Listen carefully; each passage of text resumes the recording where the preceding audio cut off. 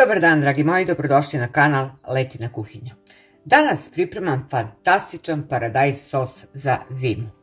Biće nam potrebno 3 kg paradajza, evo ja sam ga pripremila, dobro oprala, zatim jedna glavica e, onako srednja uh, belog luka, dve glavice crnog, jedna vezica pešuna, pet crvenih e, paprika, možete bilo koju, ja sam kupila šilje, naravno bit će potreban šećer, malo i soli i karamfilića i bosiljka i cimeta i kako šta spremam, to ja ću dodavati i naravno sve ćete to vidjeti. Za početak uzimam paradajz, znači sve ukupno 3 kg, sećam ovako na pola, skidam ovaj, ovaj deo ovdje, evo, Pripremila sam i ovaj blender i poslije samo fino lepo kada isečem paradajz sve to lepo blender usitni i poslije toga krećemo dalje sa radom.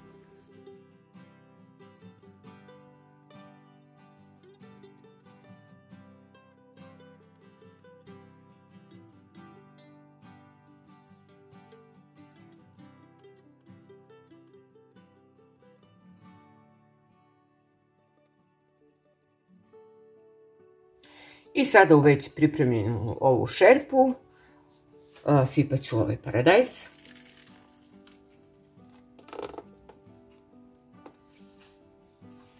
Evo još jedna ove.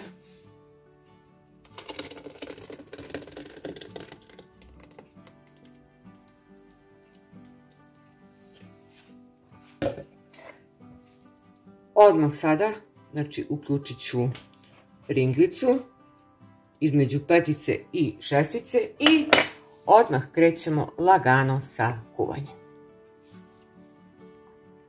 Pa za nekih desetak minuta uh, uključit ću kameru. I evo paradajz kreće onako lagano, još nije krenuo prvi ključ. Ja ću sada da isečem uh, paprike. I poslije ću upotrebiti secka i samleti se to. Naravno i crni luk.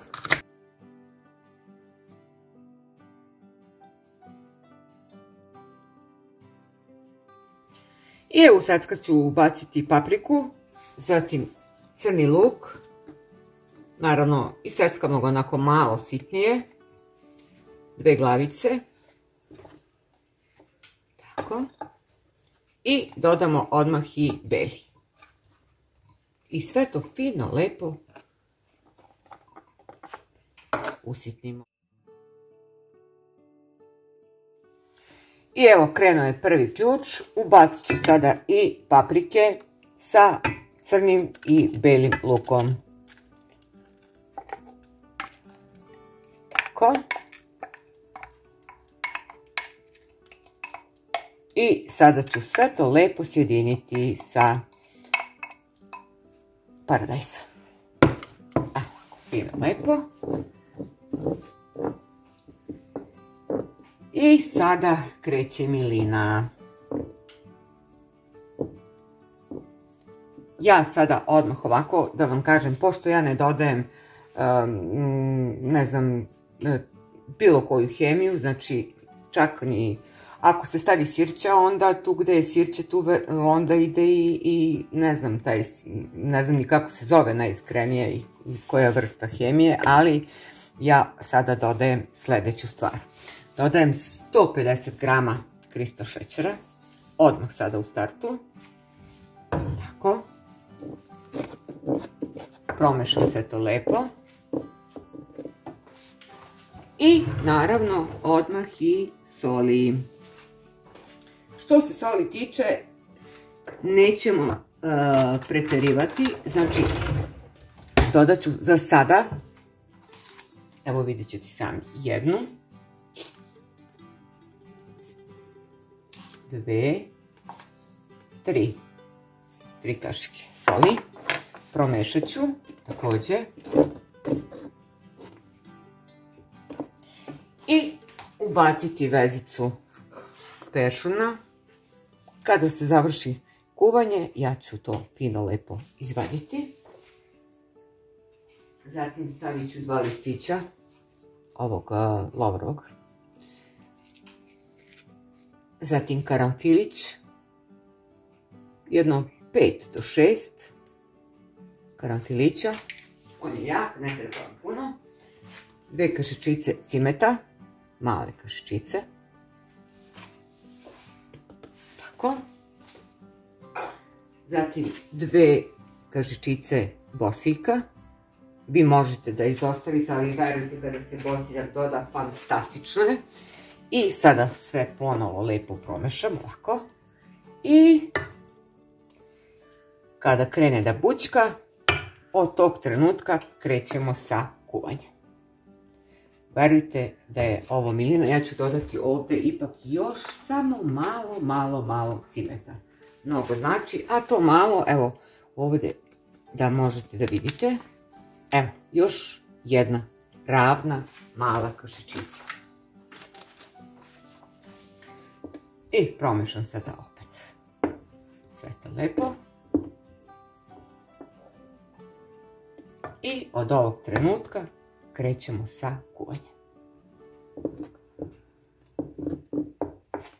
Ništa zahtevno nije, ništa uh, teško nije, a verujte, uh, kada se skuva, ukus je fantastičan. Naravno, posle toga ide pasterizacija i ovakav paradajz može da stoji godinu dana, da li ga kuvali sada ili za dva mjeseca, verujte, potpuno je sve jedno.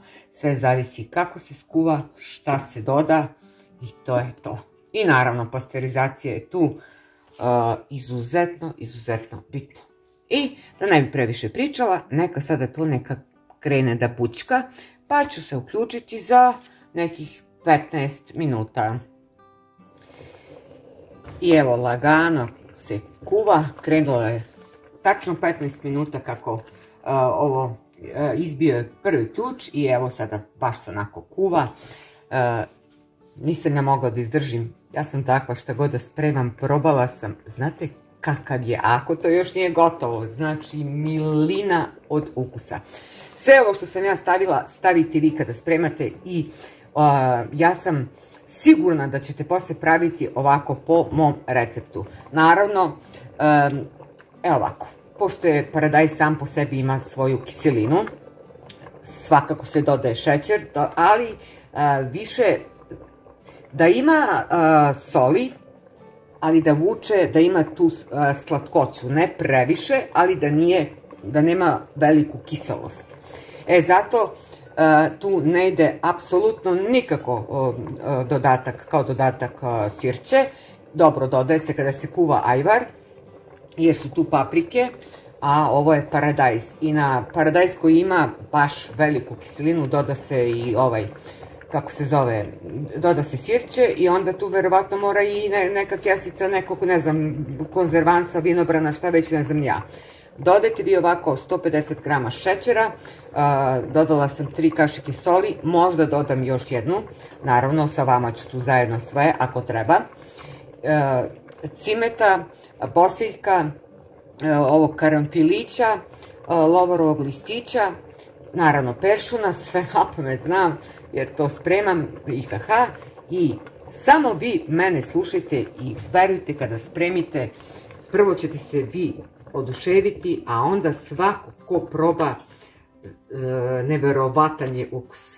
Evo, vaša leta nema potrebe da priča sad neke tu prazne priče. Ništa nije teško, čekamo lagano da se kuva i to je to. I evo, dragi moje ženice, nakon 25 minuta ja ću sada, ovaj peršun više nema e, svojstva, on je odradio svoje i, evo, izvadila sam. Znači, sve što ja radim, odmah, sam tu sa vama da i vama kažem. Evo ovo isto od ovog pešuna. I ostaje još jedan listić. I nastavljamo dalje.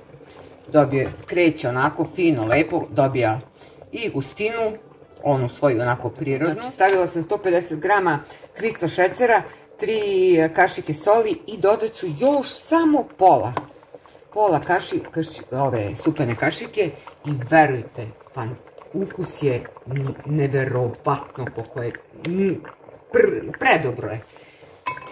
Ne znam reći, ne znam da vam opišem koliko je to, znači mnogo, mnogo, mnogo, mnogo, mnogo preukusan Ja ne znam, sad malo je bez veze što tu pričam, ali verujte vašoj leti, ovo je neverovatno. Kreće onako, dobio je baš fan divnu gustinu i evo još nekih, da vam kažem, desetak minuta i ja sam završila jednu turu i Bože zdravlja još sigurno ću dve.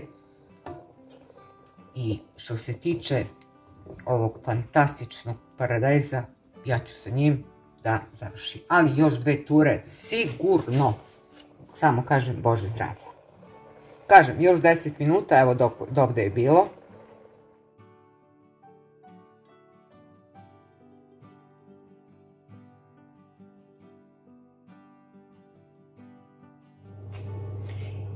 I evo, poštovani moji, drage moje ženice, kao što vidite, e, paradajz se skuvao, fantastičan je, ima divnu, divnu, predivnu gustinu, lepu boju.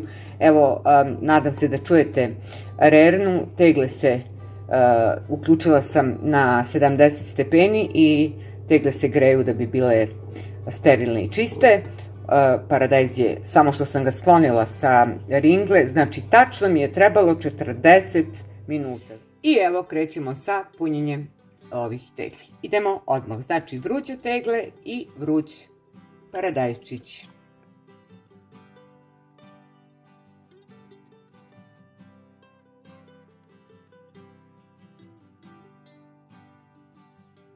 I evo, poštovane moje ženice, draga moja zajednica, dragi moji pratioci, kao što vidite, evo, stvarno je novi dan, novo jutro. što se tiče ovog paradajz sosa za zimu, naravno prenoćio je. Sada sam ga izvadila iz rerne, znači juče je bio 90 minuta na 90 stepeni, nakon 90, e, isteka 90 minuta ja sam isključila rernicu, prenoćile su teglice i evo sada sam ih ovdje fino lepo poređala e, i mogu vam reći da je ovaj paradajz sos neverovatnog ukusa. Ako pripremite e, po receptu vaše lete, verujte, oduševit ćete se i pravit ćete uvek ovakav. To je toliko pitko, ukusno, e, ukus je e, neverovatan. Eto, ne bih previše sada da se hvalim, napravite sami i uverit ćete se. Toliko što se tiče današnjeg recepta, poštovani moji, samo odradite pasterizaciju, to je najbitnije. E, nema, znači, još jednom ponavljam, kada je paradajz u pitanju, on sam po sebi ima svoju prirodnu kiselinu, nema potrebe dodavati što ovo sirće, apsolutno ništa, samo šećer i sve ostalo što sam dodala. Šećer, šećer je, ponavljam još jednom, e, vrsta konzervansa i sve one začine i dobit ćete e, paradajz koji verujem da kada probate jednom uvek ćete spremati. Toliko od mene, drage moje ženice, dragi moje, draga moja zajednico, dragi moji pratioci, hvala svima na ukazanom poverenju, beskreno hvala. Ako želite zapratite kanal Letina kuhinja, potpuno je besplatno. Lajkujte, komentarišite, delite vašim prijateljima i do nekog sljedećeg e, videa. Leta vam želi svako dobro i puno, puno, puno, puno zdravlja. Ćao i ljubim vas sve.